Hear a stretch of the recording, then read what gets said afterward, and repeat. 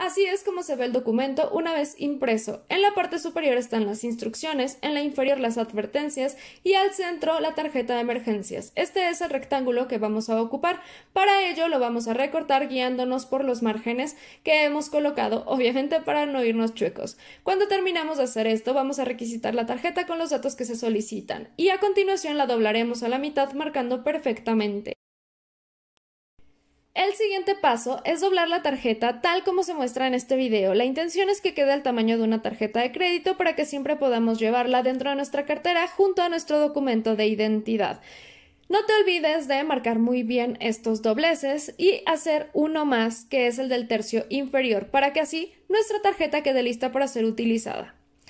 En la parte frontal vamos a encontrar nuestros datos personales y al reverso la información de la enfermedad, así como el código QR que los médicos pueden escanear para obtener más datos y así brindarnos una mejor atención.